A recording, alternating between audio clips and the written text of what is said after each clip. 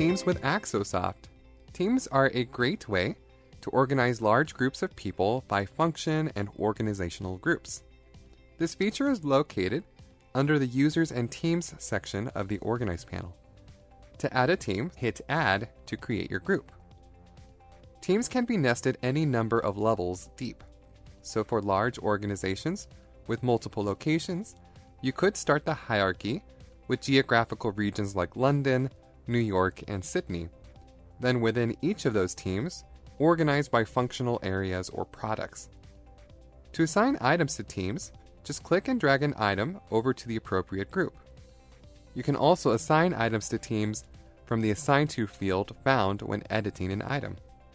Workflow step automation is a great way to also assign teams. So if I click and drag this item over to Ready for Testing, this item now belongs to the QA team. Teams can receive notifications, so to do this, you can create or edit any notifications template and enter the team's name in the recipients box. So now, when an item is assigned to this team, all members will receive an email notification.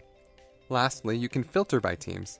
When you select a team in the Organize panel, the system automatically filters your view to see all items assigned to any members of that team. For custom filtering, teams can be selected from the Assign To field.